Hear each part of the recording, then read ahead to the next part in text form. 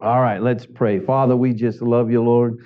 Father, I thank you for this opportunity to be in your house. Father, in this unique and unusual circumstance, Holy Spirit, bless and anoint this time. Bless and anoint your word. Bless and anoint your people in Jesus' name. Amen. Amen. Well, turn with me in your Bibles. We're going to go to Ephesians chapter 6. Ephesians chapter 6. We're going to start in verse 10, Ephesians 6. Amen. The Bible says, Finally, my brethren, be strong in the power of his might. Amen. The Bible says to be strong in the power of the Lord and his might. it's an interesting time that we're living in right now with all that's going on with the coronavirus. It's everywhere you look in the news is talking about the coronavirus. There's a lot of panic that's associated with it. Some of it, you know, you agree or you don't agree. But the interesting thing is, God is still in control. God is still on his throne. Everything that we go through, we go through for a purpose. Amen. Now, the Bible said, finally, brethren, it starts off finally. So, for some of us, maybe this is what it took for us to be to our finally. So, our finally, it says, be strong in the power of his might. Well, in being strong in the power of his might means to be rooted and grounded in the word. And being rooted and grounded in the word means that we've got enough word in us that it has now prepared us for the time that we're in now. You, you, see, it's not an easy time on a lot of different levels. There are some of us going through some economic hardships, some going through some social hardship. And, and some of us, you know, we're tired of being cooped up and being at home. And, and uh, some of you, you know, you're married to, well, we just won't go there, amen. But you're ready for some of you to leave home, amen. But the Bible says, be strong in the power of his might. And being strong in his might, now listen, this is the key that we teach all the time is the word the word needs to be such a part of you and in you that when you need the word, the word is what flows through you. Amen. And so where we are now is we need the word. You see, we listen to the news and what they're telling us on the news, and it's not very encouraging. And so, if we're not careful, we'll get caught up in the atmosphere and the environment that we're living in, and we lose sight of the fact that God is still in control. The last Sunday when we were here, I preached on fear and not being fear. God has not given us the spirit of fear, but of love, power, and a sound mind. Amen? And through times like this, we really need to rely on the experiences that we've had in the past that's brought us through the struggles that brought us to where we are. You see, this is new and unique in one level, but there are no new and unique trials or tribulations to the Lord. Everything that we experience, everything that we go through, God has already given us all the preparation that we need in His Word. Amen. And so, what we need to learn to rely on is not CBS, NBC, CNN, ESPN, PPN, WXYZN, or any of the other N's and X's and O's. Amen. We need to get back to the basics, back to the Word back to what the Bible says. You see, my Bible says that I'll never leave you nor forsake you. That's what my Bible says. My Bible says that all things work together for the good for those that are called. Amen. My, you see what I'm saying? My Bible, what does your Bible say? It's time we start quoting the Word. It's time we started living up to what the Word said. My best advice and recommendation to you in this time at the moment is Turn the news off. Turn the news off. Stop listening to the news 24 7 and trying to make sure you got the latest numbers. Oh, we're up to 100,000 cases. We're up to this. No, we're up to where we're supposed to be according to the plan that God's orchestrated that we just don't understand. And so let's live by and be called according to his purpose. You see, now is the golden opportunity for the church to step to the forefront of things that are going on and start loving on people as best you can, but maintaining your six foot social distance. You know, my wife went to the to the store uh, today to Best Buy, and uh, she got a, a, kick out of that because Best Buy's kind of like Sonic right now. It's like the IHOP. They roller skate out to your car. Well, they don't roller skate, but they run out to your car and you tell them what you want and they run back in. You know, that's kind of cool. My wife really liked that. She's kind of hoping that they'll keep that even once things move on to the next level or whatever that might be. All right. Being strong in the power of his might. Amen. You see, my Bible says that I've never seen the righteous forsaken or its seed begging bread. My Bible says that my God shall supply all my needs according to his riches in glory by Christ Jesus. So, in these trying and difficult times, it's a great opportunity for us to live up to what the word says. You see, now is the time for the church to lead in the areas of peace. Now's the time for the church to lead in the areas of, hey, listen, it's really not that bad. You, you know, it's really going to be okay. We're going to make this through. We're going to be better on the other side. You see, a lot of us are, are, are have this unique ability and opportunity now to realize what's really important in life. Mm. What really matters. What your priorities really should be. Amen. You know, I, I saw a thing the other day. It said uh, uh, violent crimes down 90%, and uh, uh burglaries down, uh, it was something like 85, 95%, but it said that uh, domestic disputes up 120%. we got men and women, husbands and wives, forced to stay together at times, and, and we're having some challenges. Let's get back to the word. Let's get back to what the Bible says. And let's remember, let's remember this next verse. It says, Put on the whole armor of God. Put on the whole armor of God, that you may be able to stand the wiles of the devil. Now, listen to me. For we do not wrestle against flesh and blood, against powers, against the rulers of darkness of this age. Now it says, of this age, against spiritual hosts of wickedness in the heavenly places. You see, right now, what we're struggling and dealing with, this invisible enemy, this virus, this is an attack of Satan. This attack is coming against our nation, it's coming against the world, it's coming against the church. This is an attack.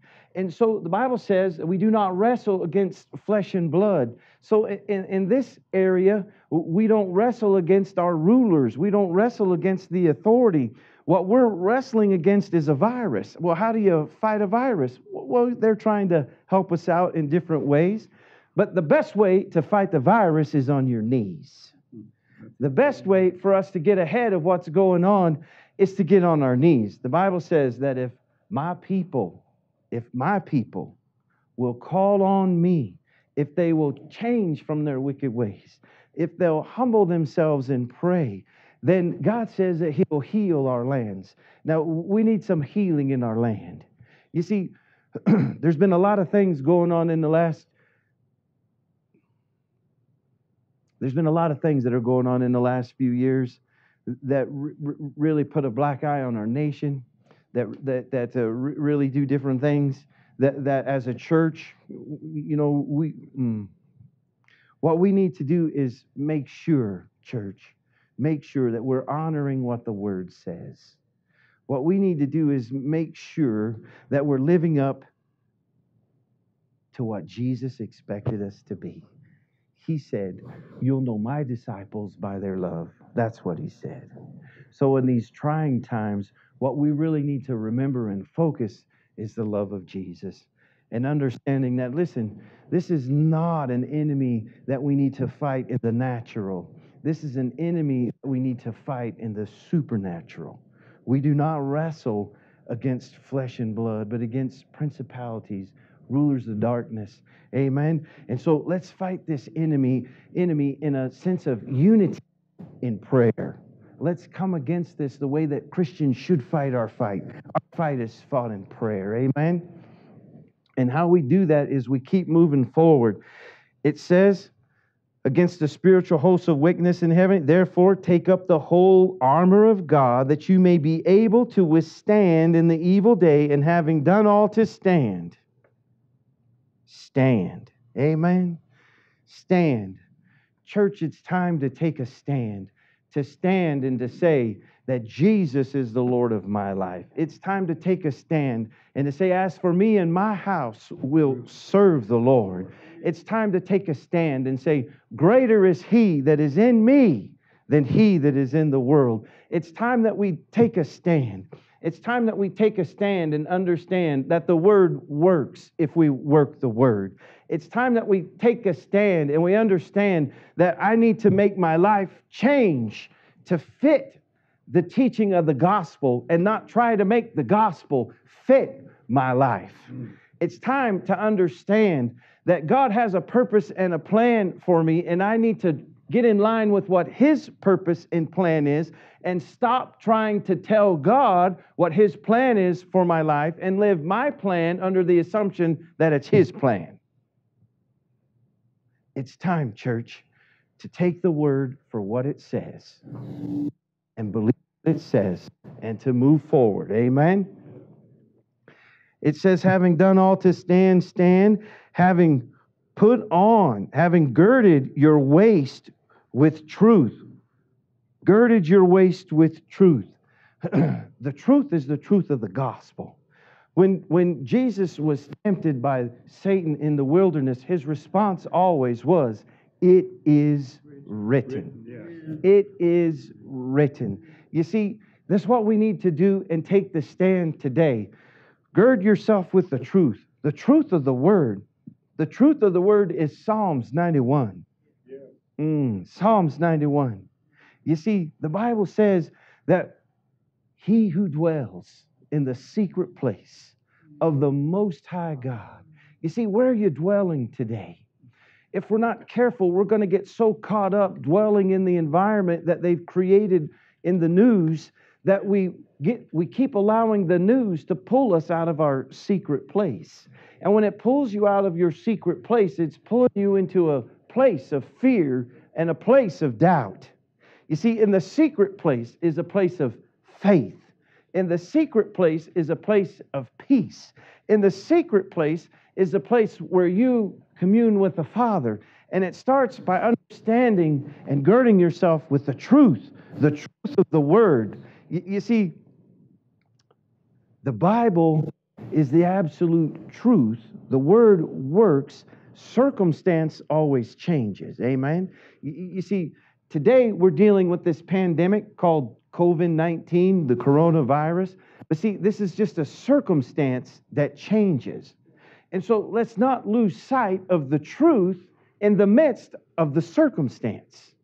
The truth will still be here once the circumstance changes. You see, it says, in having put on the breastplate of righteousness, the breastplate of righteousness.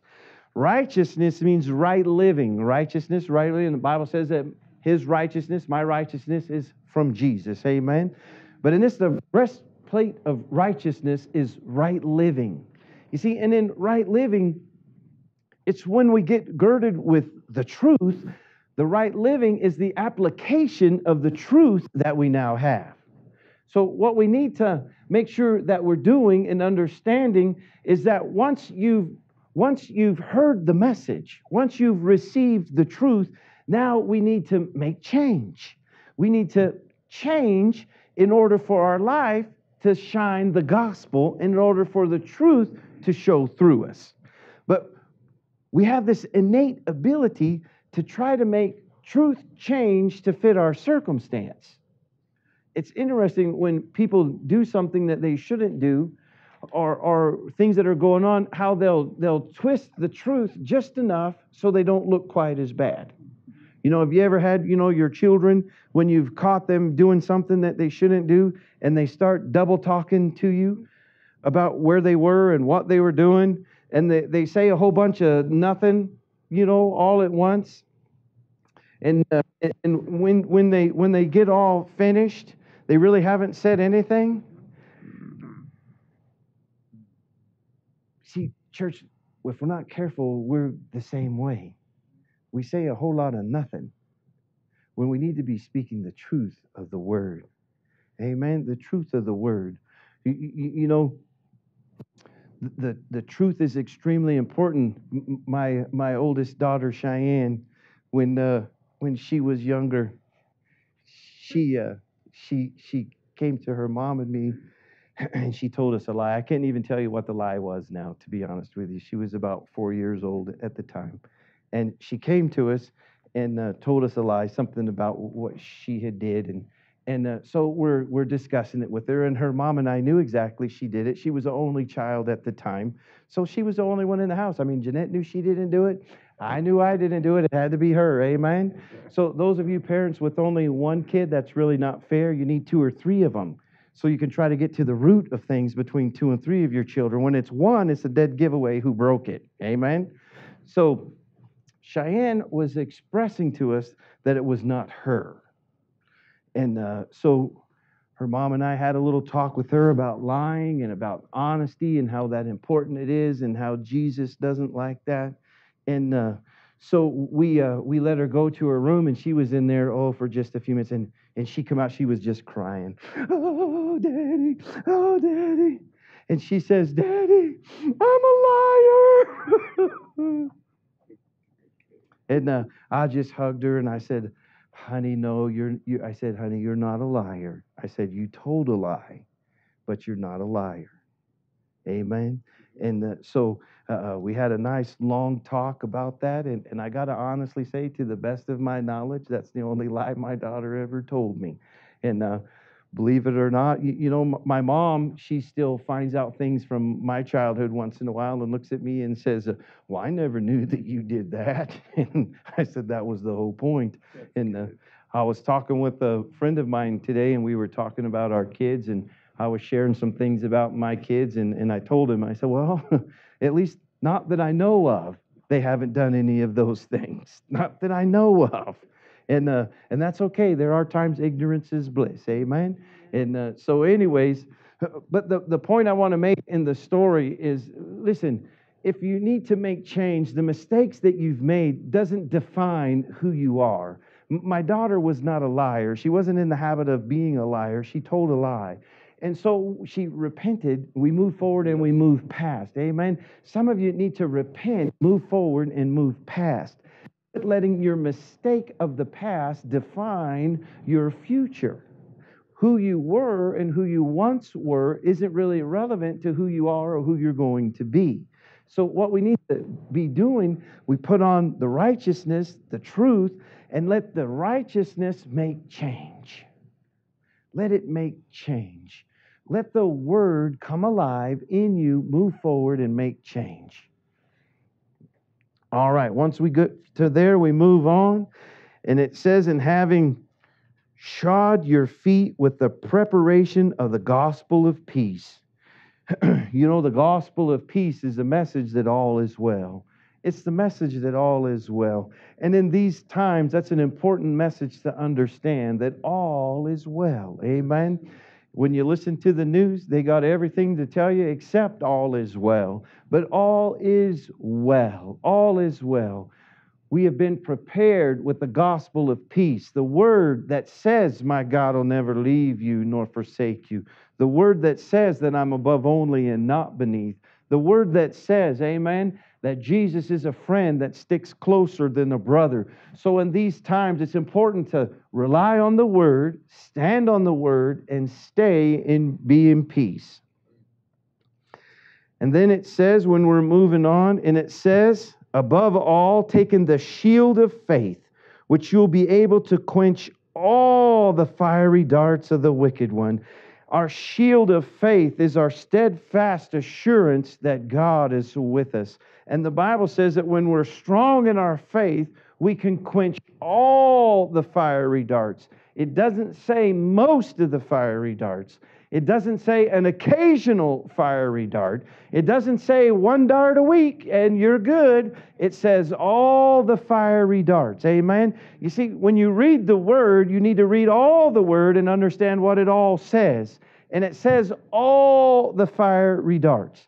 So anything that Satan brings at you, anything that Satan brings to you, when your faith is strong, when your shield is up, God is able to defend. God is able to keep you at peace. God is able to move you past.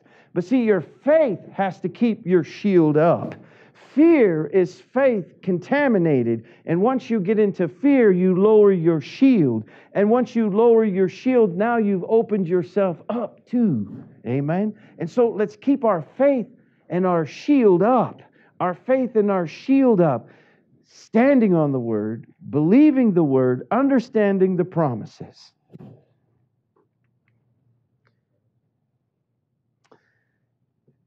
And then it says, and take the helmet of salvation, the helmet of salvation, and the sword of the Spirit, which is the Word of God. The helmet of salvation is a protection on your head. Your salvation, you see, the Bible says we can be assured of our salvation. And one of the tricks Satan likes to play on us is get us doubt who God is, how much He loves us, how much He cares for us, that we're really saved, that there's really a heaven, and that we're really going there. So, with our helmet of salvation, our helmet protects your head. Amen. And so, in protecting your head, it's protecting your mind because your mind is a terrible thing. Your mind takes you to terrible places. Your mind will run amok if you won't catch it, watch it, and, you, and you'll let it. So, in protecting your head, we're protecting your mind. And you protect your mind by keeping your thoughts on the Word. The Bible says, whatever things are pure, whatever things are holy, whatever things to think on these things. The reason that we think on these things is because where your thoughts go, your attitude follows. Where your attitude follows, your actions go. And where your actions go is what will propel you either further in faith or further in fear. And so we need to make sure that we're, listen, that we're not just reading, we're not just hearing, we're not just speaking, but we're living what the Word says. Amen? And then the sword, it says, the sword, which is the Word of God, the sword. Amen. the sword, the Word, that, that's our weapon. The Word is your weapon. It's your weapon to use against the devil. It's your weapon to use against fear and doubt. You see, the sword is your weapon. But, but we, we, we need to be careful because a sword in the wrong hands causes as much damage as it does good. And there's a lot of us that if we're not careful, we can use the word in the wrong way. And we use the word to attack people, we use the word to demean, we use the word to try to bring condemnation, and that's not what we should be using the word for. You should be using the word to change your own life. You should be using the word to make yourself better. You should be using the word to make the world a better place because you were in it. Amen. Stop worrying so much about how the word's working in somebody else's life and let's focus how the word's working in my life. How's the word working for me? I need to use my sword for me in that respect. I need to use my sword to make me a better person. I need to use my sword to draw me closer to the Lord. I need to use my sword to keep me strong in the faith so I can keep my shield up in trying times, so I can keep my helmet lined up, keep my mind right, keep my focus right, keep moving forward in the way that God wants me to be, so that I can be attracting people to Him and not to me. Amen? Amen. All right. And then it says, now listen, and praying always with all prayer and supplications in the Spirit, being watchful to this end with all perseverance, perseverance and supplication for all the saints. Listen, we have to keep on keeping on. We have to keep moving forward. We have to keep pressing on. We have to keep making a difference, keep making change, keep moving, and keep understanding that, listen, although today, although today may have been a challenge, tomorrow's on its way. Although today we're struggling through a coronavirus, tomorrow is going to be a better day. Although today there's the uncertainty of the future in a lot of people's eyes, but the certainty is Jesus still loves you. The certainty is my God is still able. The certainty is is that if I take this word and I start understanding and believing it as it says, and I start practicing the principles and using and using my armor the way that I should, I'm putting on my belt, I'm putting on my breastplate. I got my boots on, shed, shod with the preparation of the gospel. I'm holding my shield up. My faith is high. I got my sword, my Bible. I spent some time in the Word and I've understood what the Word says. And I've not allowed circumstance to deter me from the truth of the Word. And now I spent my time in prayer. I've come before the throne and I said, Father, forgive me Father, use me. Father, I surrender all that I am to you. And as I'm moving and I'm working and I'm doing and I'm honoring the Lord and His Word through this, there's a supernatural peace that just moves over. Jesus said, My peace I leave with you, not the peace as the world gives. Amen. And in these trying times, one of the greatest abilities and assets that we have as believers is the peace.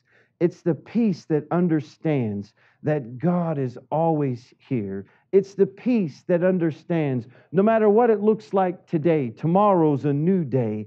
It's the peace that understands that all is well. All is well. All is well. My God shall supply all my needs according to his riches in glory by Christ Jesus. God is still on the throne. God is still in control. He still loves you with a never ending love. He's not left, He's not forsaken. We just need to stay focused, stay in faith, stay believing, be rooted and grounded in the Word. And my God is able. His grace is sufficient. And we're going to give Him all the praise and all the glory in Jesus' name. Amen. Father, we just thank you for this time to come into your house. Father, we thank you for your word. Now, Holy Spirit, right now we pray for our leaders in Jesus' name. Father, we pray for our president. We pray for our governors. We pray for our government down to the state, local, county, city levels.